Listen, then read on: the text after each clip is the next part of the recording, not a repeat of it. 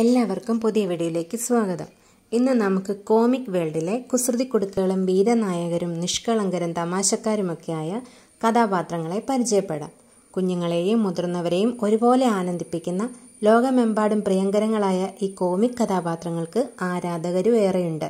Comic വേൾഡിലെ ചില രസകരമായ വിവരങ്ങളെയും കഥാപാത്രങ്ങളെയും നമുക്ക് ഇന്നത്തെ വീഡിയോയിലൂടെ പരിചയപ്പെടാം. അപ്പം നമുക്ക് വേഗം തന്നെ വീഡിയോയിലേക്ക് പോകാം. ആദ്യത്തെ കഥാപാത്രം ടിന്റിൻ സാഹസികനായ ഒരു പത്രപ്രവർത്തകനായ ടിന്റിൻ എന്ന കഥാപാത്രത്തെ സൃഷ്ടിച്ചത് ജോർജസ് റെമി എന്ന കാർട്ടൂണിസ്റ്റാണ്.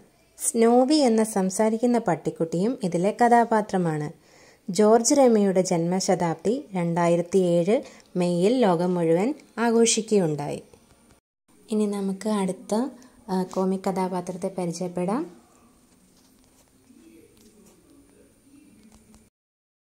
മൗഗ്ലി ഇന്ത്യയിൽ ജനിച്ചു വളർന്ന റുഡ്യാർഡ് ക്ലിപ്പിംഗ് എന്ന എഴുത്തുകാരന്റെ ലോകപ്രശസ്തമായ കഥാപാത്രമാണ് മൗഗ്ലി. ചെന്നായ്ക്കൾ വളർത്തിയ മനുഷ്യക്കുട്ടിയായ മൗഗ്ലിയുടെ കഥ പറയുന്ന ജംഗിൾ ബുക്ക് എന്ന നോവലിലൂടെയാണ് മൗഗ്ലി പ്രശസ്തനാവുന്നത്. മധ്യപ്രദേശിലെ കൻഹ ദേശീയോദ്യാനത്തിലെ കാടുകളാണ് ജംഗിൾ ബുക്കിന്റെ പശ്ചാത്തലം. ആയിരത്തി തൊള്ളായിരത്തി ഏഴിൽ ക്ലിപ്പിങ്ങിന് സാഹിത്യത്തിനുള്ള നോബൽ സമ്മാനം ലഭിക്കുകയും ചെയ്തു. അടുത്തത് സ്പൈഡർമാൻ.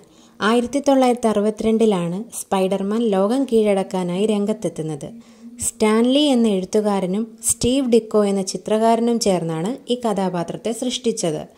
റേഡിയേഷൻ വഴി അസാമാന്യ കരുത്ത് ലഭിച്ച ഒരു ചിലന്തി പിറ്റർ പാക്കർ എന്ന വിദ്യാർത്ഥിയെ കടിക്കുന്നതോടെ അവന് ചിലന്തിയുടെ കഴിവ് ലഭിക്കുന്നു. ഇതാണ് ഇതിന്റെ പ്രമേയം.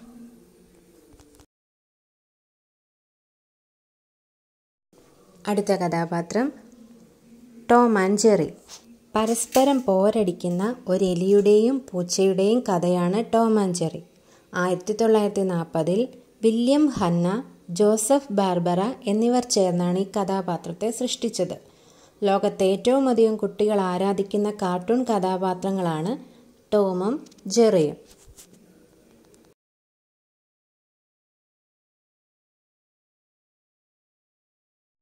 അടുത്ത കഥാപാത്രമാണ് മിക്കി മൗസ്.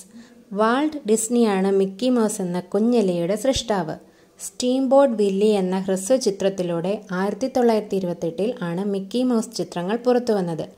മിക്കി മൗസിന്റെ ലോകത്ത് പിന്നീട് മിന്നി എന്ന കൂട്ടുകാരി കൂട്ടുകാരിയും ഡൊണാൾഡ് ഡക്ക് എന്ന താറാവും ഗൂഫി എന്ന പാണ്ഡൻ നായും ചേർന്നതോടെയാണ് അനിമേഷൻ സിനിമകൾ ശ്രദ്ധേയമായ ഒരു ശാഖയായി വളർന്നത്.